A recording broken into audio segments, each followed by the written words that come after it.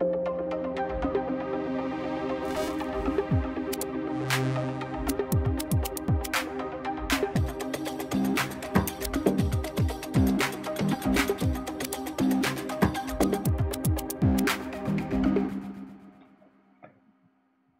we're back. I hope that you had a good time having a coffee, a beer, or a mate. Now we're moving on on DevSecOps with Alyssa Miller. She's a hacker, a security advocate, author, professional, and public speaker with almost 15 years of experience in the security industry. She has always had a passion for deconstructing technology, particularly since buying her first computer at the age of 12, teaching herself basic programming. In her career, Alyssa has performed all forms of security assessments, but given her developer background, she had a dedication to application security. She specializes in working with business and security leaders to design and deploy effective security programs that create a true culture of shared responsibility and developer ena enablement. So big round of applause to Alyssa Miller and her talk on Look, there's a threat model in my DevSecOps. All right. Well, thank you. Hello, everybody. So I am Alyssa Miller. And uh, yeah, today we're going to talk all about threat modeling and how we bring threat modeling into the DevSecOps environment. Um, you know, really quickly, I had a pretty good intro there, but just uh, to go through it again for you, um, I am a hacker and a researcher. I've been a hacker all my life. Uh, I am a application security advocate for a company called Snyk.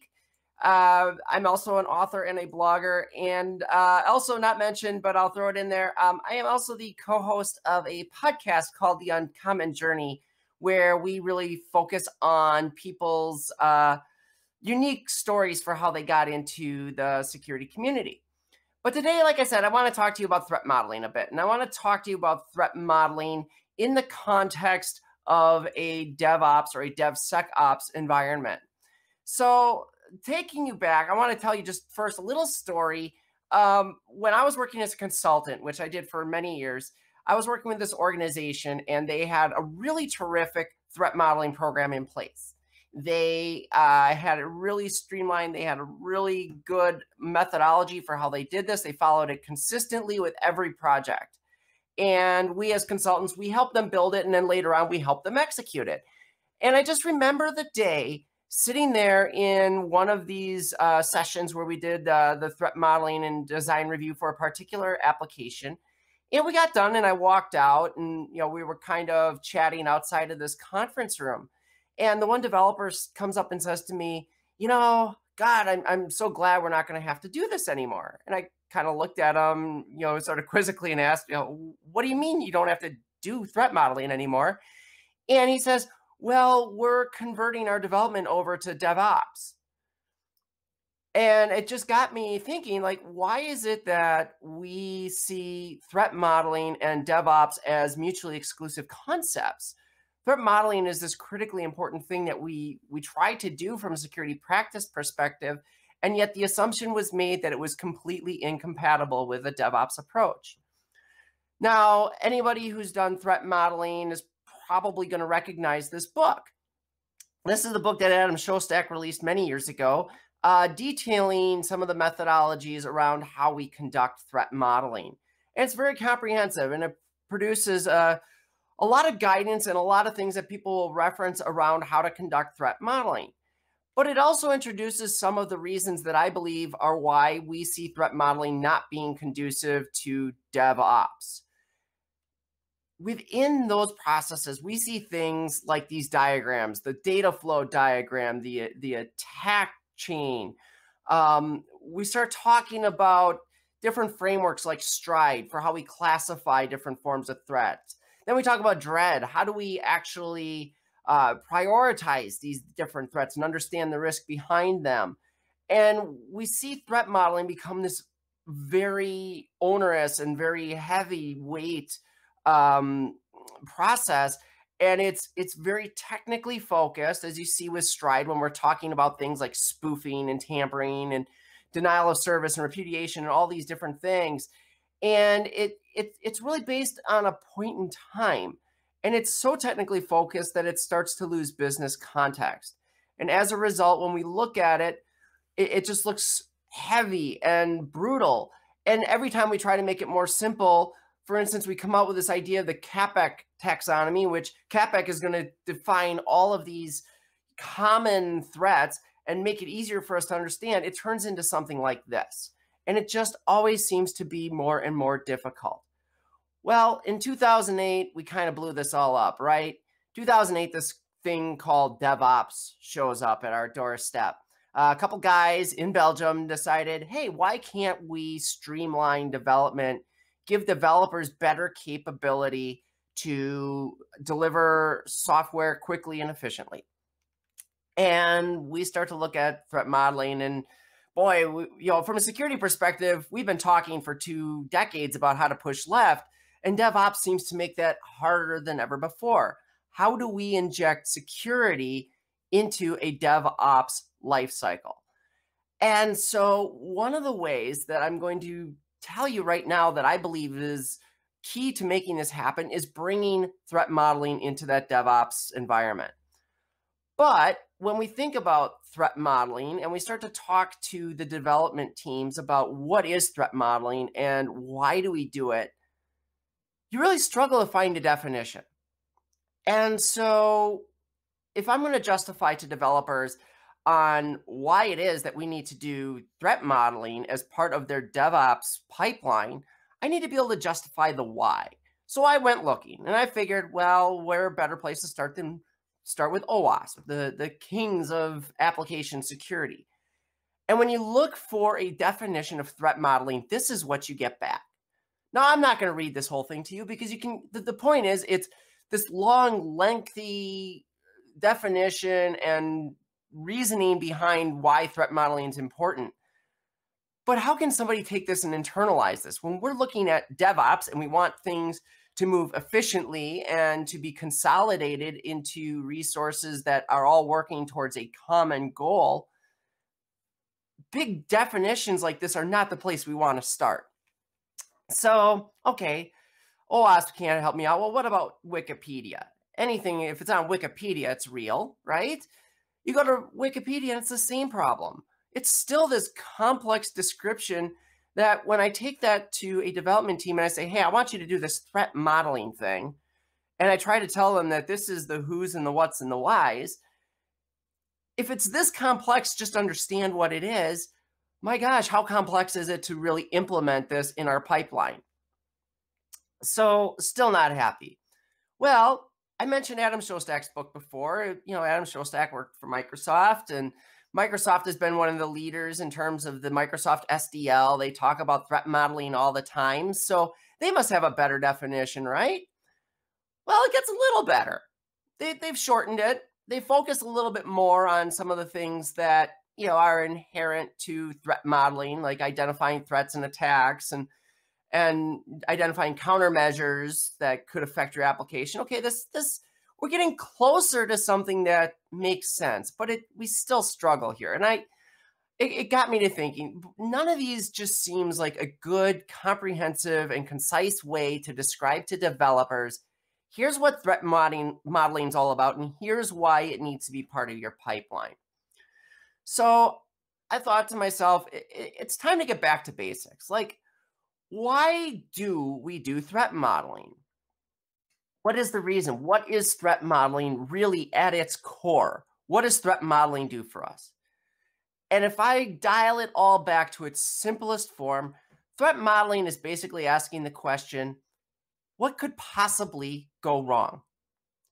It's looking at a system, it's looking at an application, it's looking at whatever business line it is that we want to understand better and asking ourselves just quite simply, what's the thing here that could happen that would be bad for our business? And then I found the definition. Why do we threat model? It's so that we can identify the likely threats to a system to inform the design of security countermeasures. That's it. At its core, that is what threat modeling is all about. Now, where did I find that definition? I had to make it up because it doesn't exist out there anywhere. I can't talk about simplifying threat modeling to the point that we can fit it into a DevOps pipeline if I can't make the definition itself simpler. So this is where I want to begin. But why is this important? Why do I care so much about threat modeling that I say it's so crucial to our development cycle?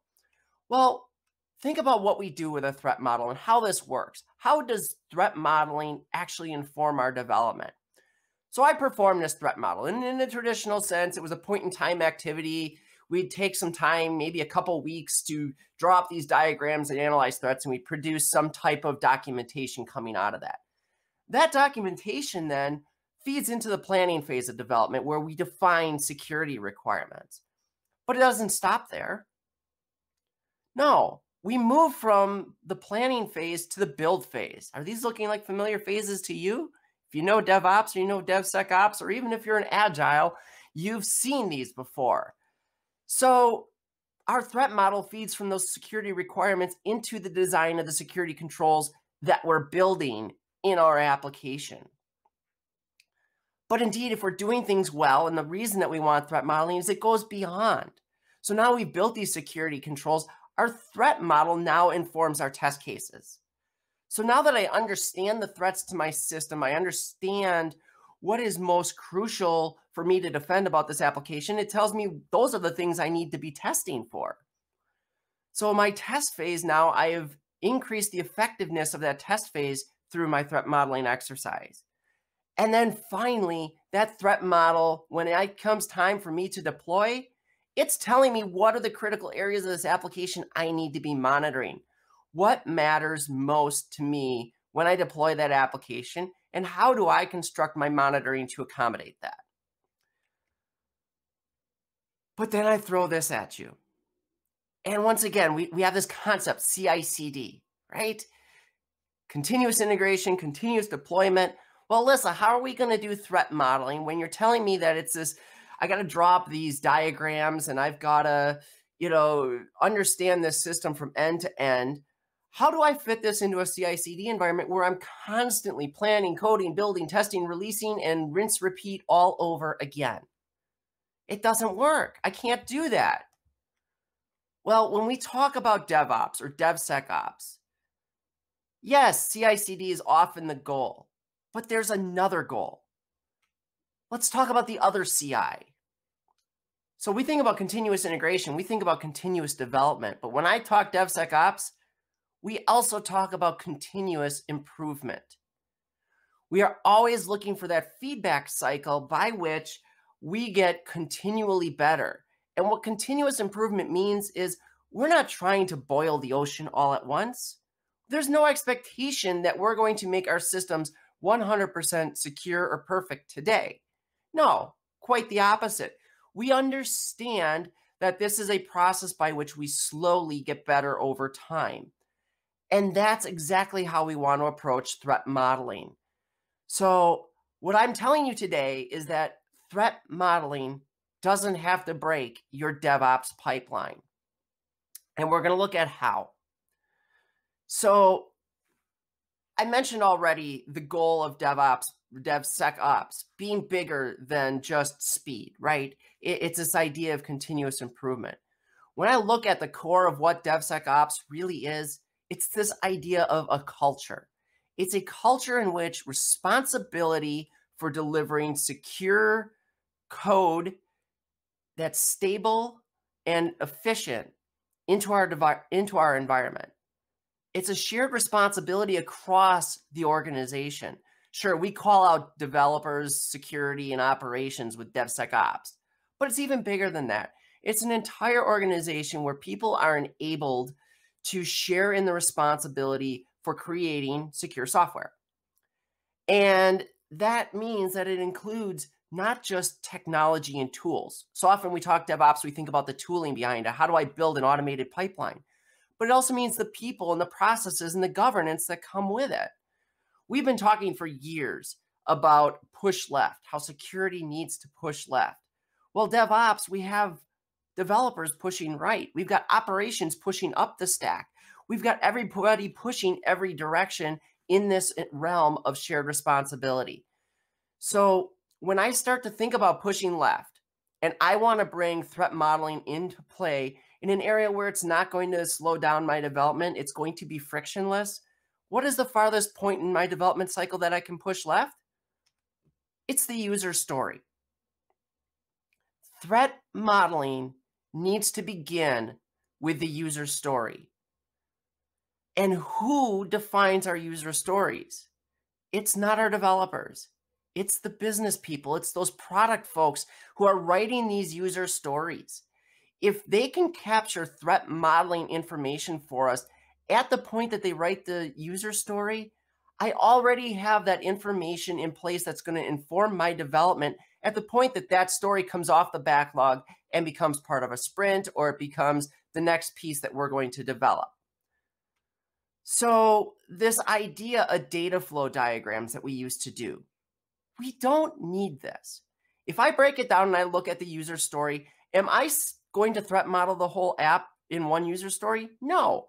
Again, I'm thinking about that idea of continuous integration, continuous de deployment, which also then includes continuous improvement.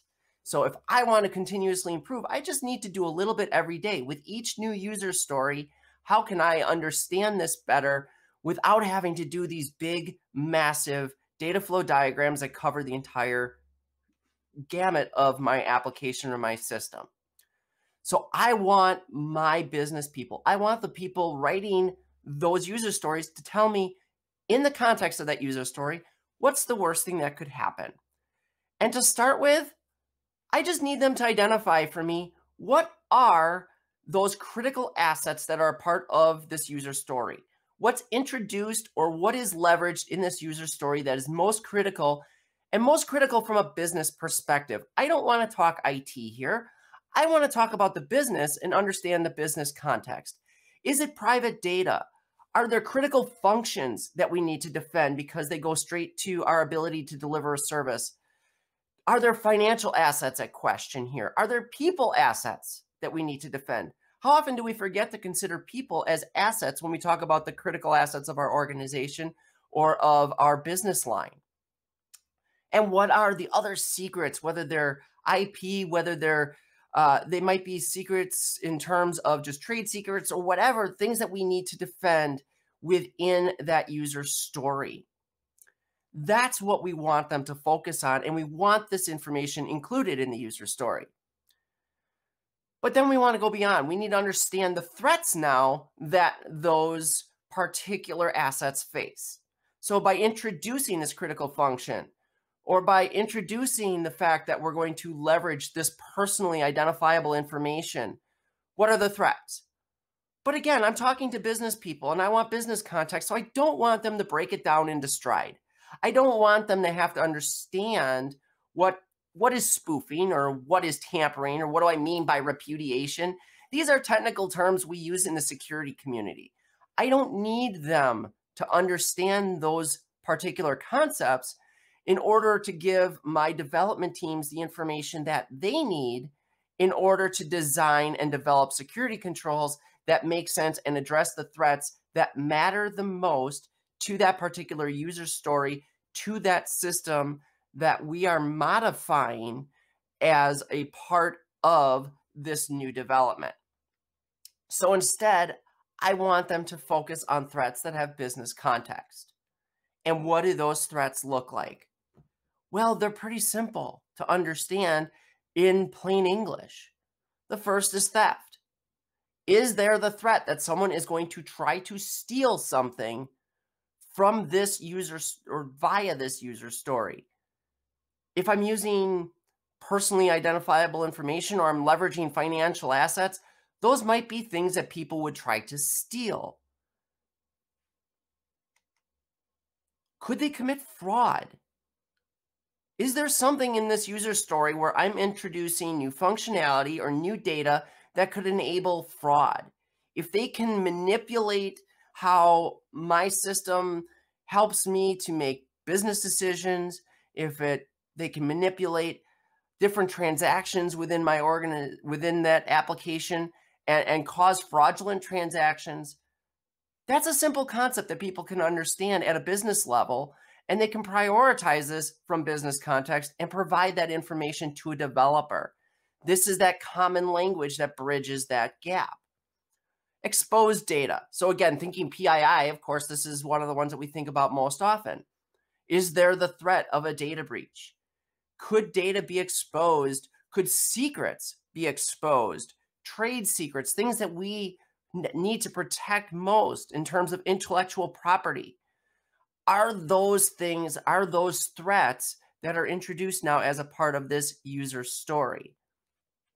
And then finally, is there, if I've identified critical functionality, there's probably a threat there that if that critical functionality is somehow disrupted, it would interrupt our business. If we are providing a service to our customers and there's a threat of interrupted business, that's something that from a business level is important to understand. We need to start to define security controls that surround that. And so this is the information that I want the people who are writing my user stories to start to pass on to my development teams. So I can capture this in however it is that I'm capturing my user stories today. I showed you a screenshot from one particular backlog management tool. How do you manage your backlog? You have user stories, you have product people writing these. Most of the time, backlogs are in some automated system. Add a couple fields with a couple simple prompts to ask your product people to identify those critical assets and those critical threats in turn that are a part of that user story. This is what we want to start building. Now we've pushed as far left into the process as possible, and we've done some basic threat modeling without affecting developer timelines or increasing friction for the development team. But where do we go from here? Now, typically, this is where we would move in the threat modeling traditional sense. We'd move into this idea of attack chains, and we would try to document attack chains. And from attack chains, then we would start to say, okay, well, I see up here there's the threat of blackmail or eavesdropping. I see that bribery is possible. And so I want to start to design countermeasures around this. This is all great. This is what we call design thinking, right? Um, and I know that's not always everybody's favorite term to use, especially from a developer in a security world. But the fact is, design thinking is real. Whether we do it as a laid out process or we do it in our own minds as part of a very fast and efficient DevOps model where I count on my developers to do that thinking, that's happening somewhere in this process. I am taking, as a development team, those requirements and those concepts that are documented in my user story, and I'm turning that into a design. So if now I have information about threats, I can build this attack chain in my head rather quickly. I can do, I can do that design thinking without the need to build these big diagrams. So again, we are moving away from a lot of this onerous activity that makes threat modeling feel like something that's just completely incompatible with our DevOps processes. And instead, we've moved it into something now that we can empower our developers to do just as a part of their daily course.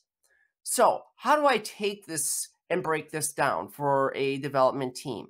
If I don't want them to develop these attack chains, what are they going to do instead? How do they go about designing security controls that fit that user story?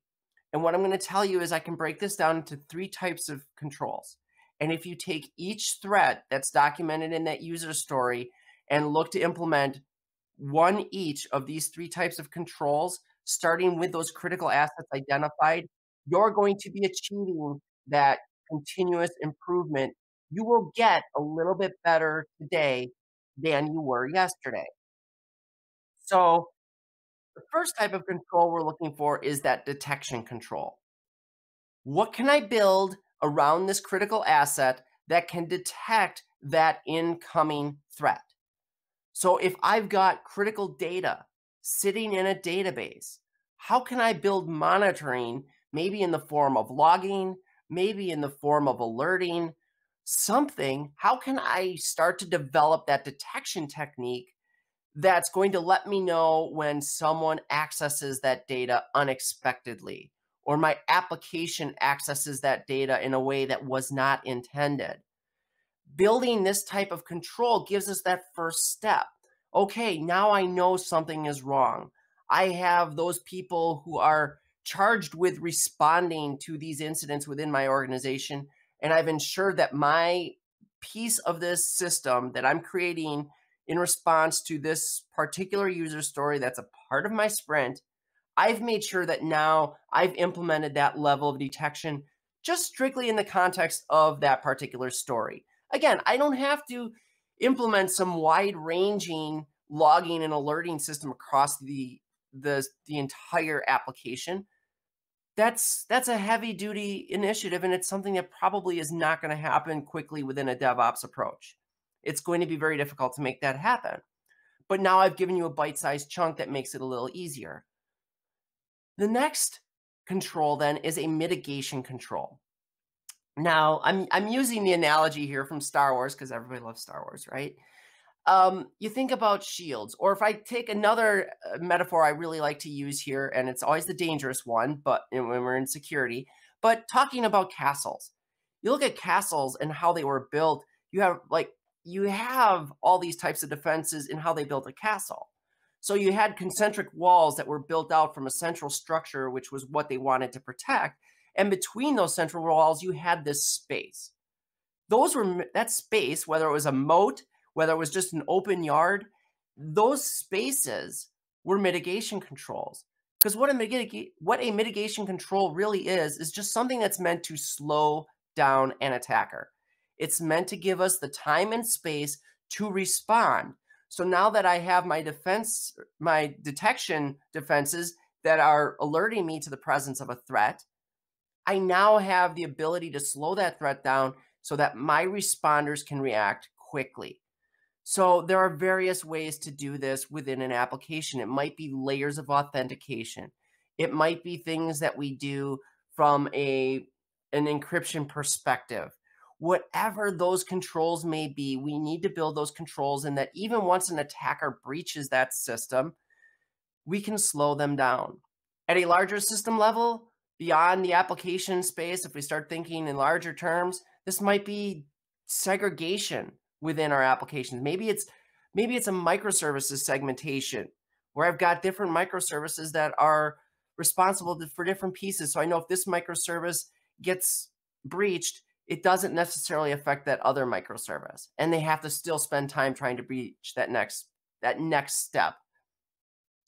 And then finally, we have our active defenses. So again, keeping with my Star Wars theme here, those are the defenses that really launch to stop an attack. So this could be any number of things. This could be the ability to shut down users. This could be the ability to relaunch a particular container.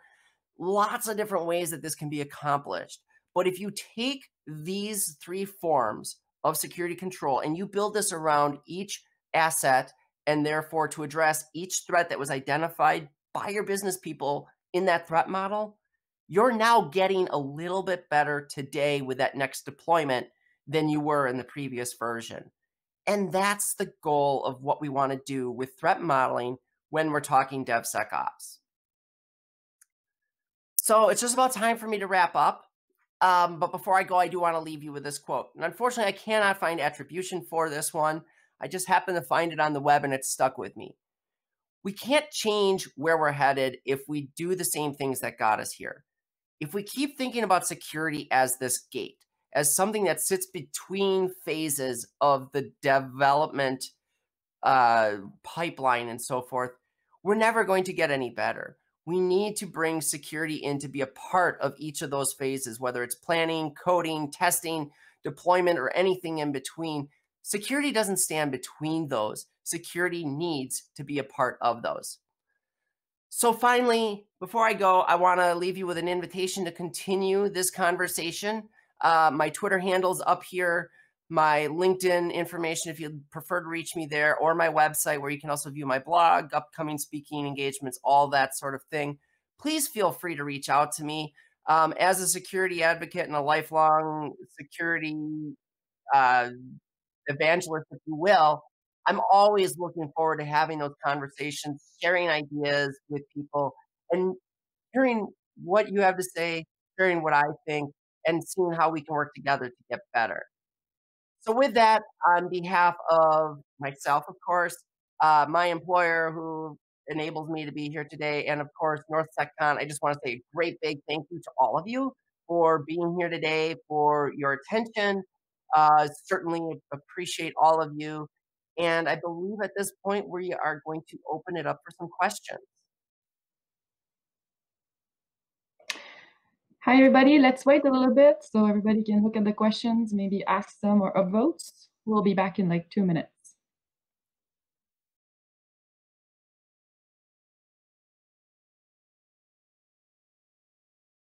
Hey, we're back.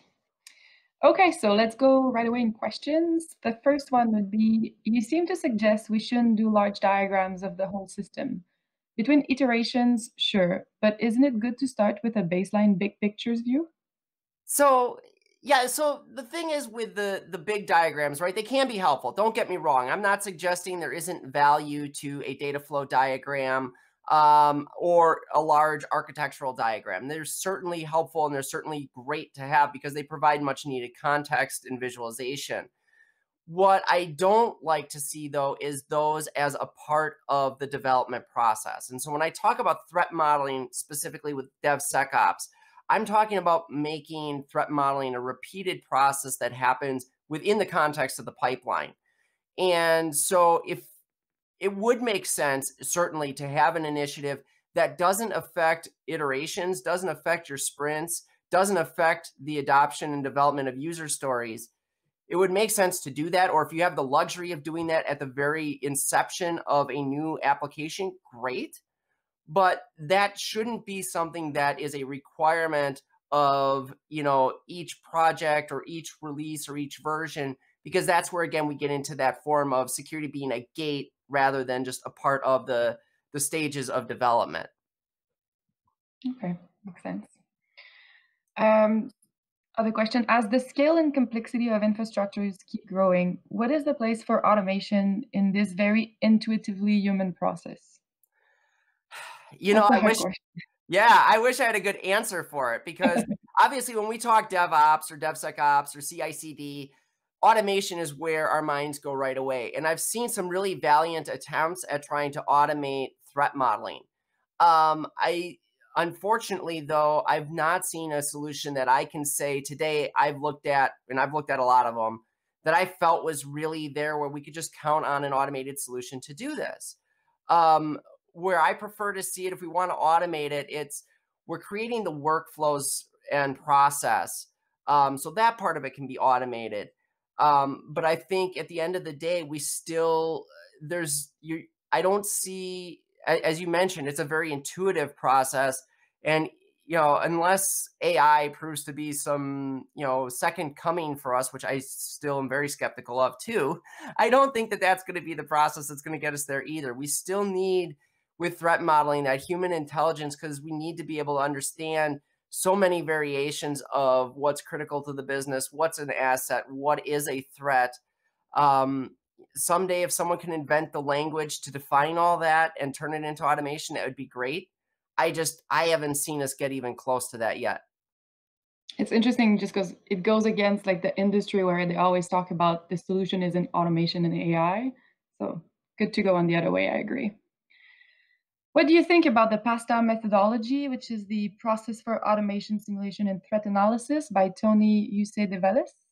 Do you think it's an approach which is compatible with DevSecOps?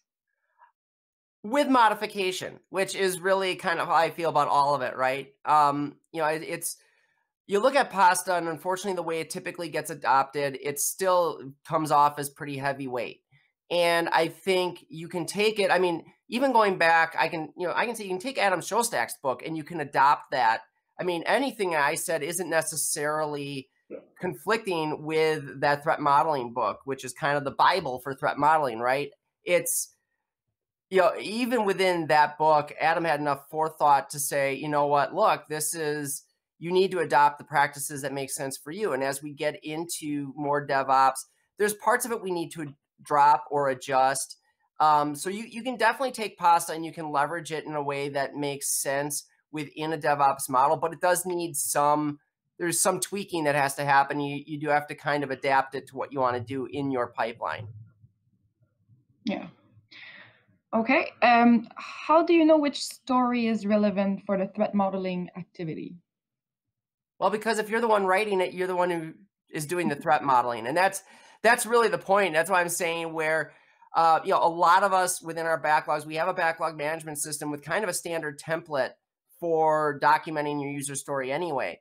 So just adding these couple questions of okay, what are the critical assets? Have that person identify the critical business assets, and then ask them, okay, based on those critical assets, what are the threats? And just have them define a few. They don't have to be comprehensive because again, here we're just trying to get better people intuitively will think of kind of the worst case scenarios and that's what we want to be defending against. That's you know inherently how we prioritize things anyway. So where it's a choice of not doing anything versus doing this type of threat modeling this is what i want to see. Yeah. Uh, next one. Sorry there's a lot coming up. Okay. Threat modeling happens at design time i guess. Do business owners have enough information to think through and write user stories to come up with non-functional requirements? Well, see, that's the thing, right? So they have the business context. So they're they obviously have enough business context to write a user story. And if I have a user story and I can look at it, and this is why I simplify what I call an asset and what I call a threat. If I sat there and I said, okay, based on this user story, I want you to classify all the threats in terms of STRIDE, no, I don't think business people would would be ready to do that because Stride is so again very technically focused. You know, you need them to understand. Well, what would this be spoofing? Would this be tampering? I don't know which. I'm not looking for that. Tell me in terms of this business asset what it means in terms of a threat. So if I've got financial assets, clearly my concern then is that those financial assets could be stolen. That's a theft. That's uh, that's the threat is theft. If I've got a critical function, this is the thing that you know keeps the electrical grid running. Way oversimplifying it, but bear with me. That's something that affects my critical business, my ability to deliver service. So rather than defining it as denial of service, just hey, tell me if this is a case of interrupted service as a threat. And so that's what we're trying to do at the business level. Then when we bring it into development, if I've got architects who take those first and put together a design, or if it goes directly to my developers, they can now take that and make the translation because it's plain English. They've been giving that, they've been given that particular business context. They can easily convert that into, okay, now I understand that this might be ways I have to think about how someone could leverage my design to steal, to conduct fraud, whatever. Makes sense. Um, great talk. Care to spend a second addressing how to tackle the inertia created by Stride and DFD data flow diagram adherence? How to convince them of user story centric approach? Sure. So it's a couple things. Um, and this goes back to what I was talking about when I said culture and really thinking of DevOps or DevSecOps as culture change. DevOps was always meant to be a culture shift it was not meant to be, you know, when we say we have DevOps teams and things like that, I always kind of question what that really means because DevOps is a culture. It's, hey, everybody has this shared responsibility. And so, what, in order to make security fit within that, security needs to be part of that shared responsibility. So instead of this gate where we've got a security silo who's going to say yay or nay to moving on to the next phase of development, we need to move security into the phases of development so that it's part and parcel to that. That's breaking down that silo and generating that DevOps approach. So when we look at it in terms of people who want to, you know, start to define, you know, they're, they're really stuck on, hey, I need my data flow diagrams, I need this or I need that. It's showing them that uh, how that's incompatible with that idea of getting away from a gate because now those diagrams and things become part of that gate and it's all right we're we're getting out of that gate mode and we're doing it this way instead because that makes us part of the development process. It's not easy with people who are you know very traditional and and locked into those traditional approaches but when but that's part of the overall friction of launching a devops model in the first place is realizing that we do have to do things differently than we did it in the past in order to make this new culture work continuously improving. Yep. One last question. Uh, quickly, will the user stories be considered as features or enablers and how it gets prioritized then for threat model, which is supposed to happen earlier? So it shouldn't matter how it's how it's classified ultimately. You should still be doing these steps as part of it. So if I'm calling this a feature, um, obviously there's going to probably be new data or new functionality introduced as part of that. Okay, great. So I want to look at that and I want to understand what are the assets, what are the threats as a result of those assets. If it's enabler, it, it's still the same. I'm introducing new code that either touches new data, touches data in a different way. It may provide new functionality, whatever it is. It still has that same context of it, it's doing something different than I am today. So how does that apply to the business and what's most critical in terms of the assets that it's either using that it never used before or that it's going to use in a different way. Okay. I think we're out of time. Uh, thank you very much, Alyssa, for presenting at NorthSec. We really appreciated your talk and having you with us. Uh, please, in the chat room, give a big round of applause to you. That's how we can thank you. and um, well, thanks so much. I really appreciate it. And we'll be talking about quantum in eight minutes, so stay tuned.